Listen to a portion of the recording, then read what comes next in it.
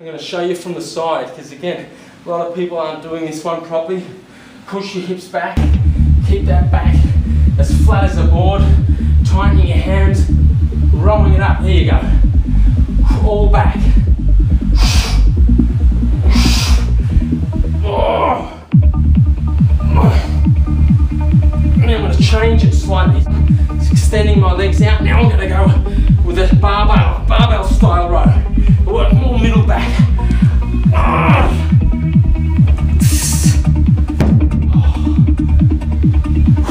Now, a great stretch that I don't see people perform that often is a good old lat stretch. You can take two grips, which will get basically the whole lat, more of the top.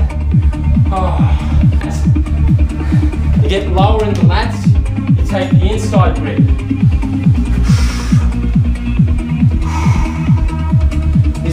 Time to unwind, totally relax the muscle and think about and visualize the workout ahead.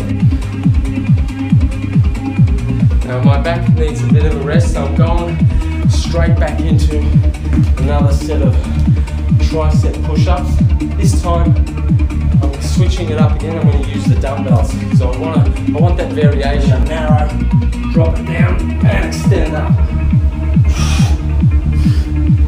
Actually protects my shoulders a little more because I'm not going all the way down. So I'm not engaging my shoulders as much, but isolating my triceps even more.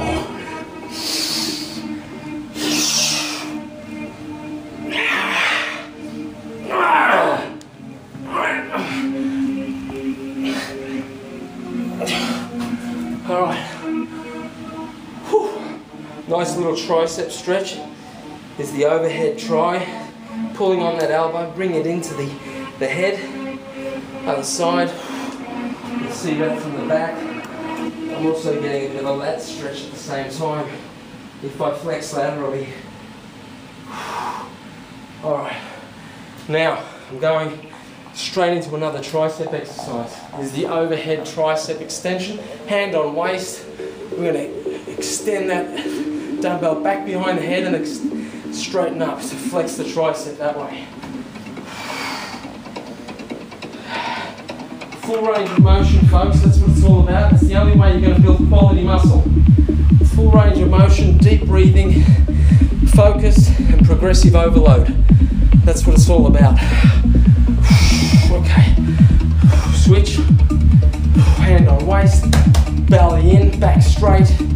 Slight bend in knees if you have to. Visualize. You don't even have to look in the mirror, folks. The mirror's right here, right in the head. Another one of my favorites that I don't often see perform. That the reason why I like this so much is because it engages my core and my legs. I call this a squatted row. Keep the legs still, visualize, do whatever it takes. Close your eyes, breathe deep. Super. It's all about the pump and the stretch and the cuts.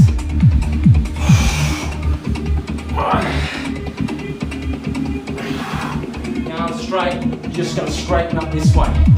This is a great lower back worker, equivalent to the back extension. Working the hamstrings and thickening up the lower back.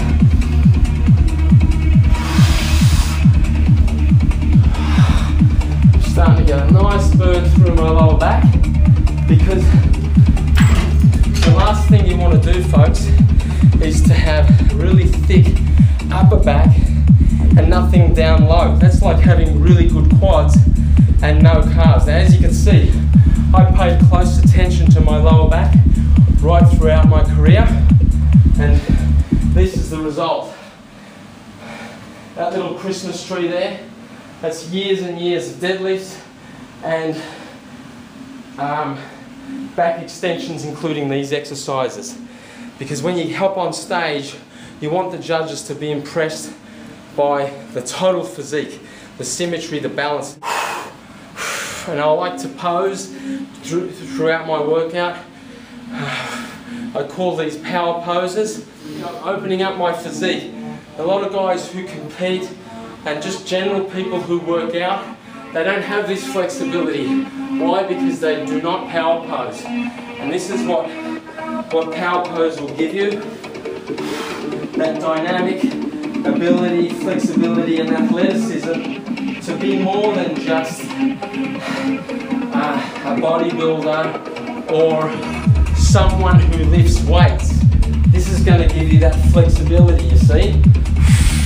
The balance, symmetry, a lot of people don't understand that. But once they get involved and perfect the poses, then they gain more of appreciation for power pose and and the training, not just see it as a means to an end, but a journey.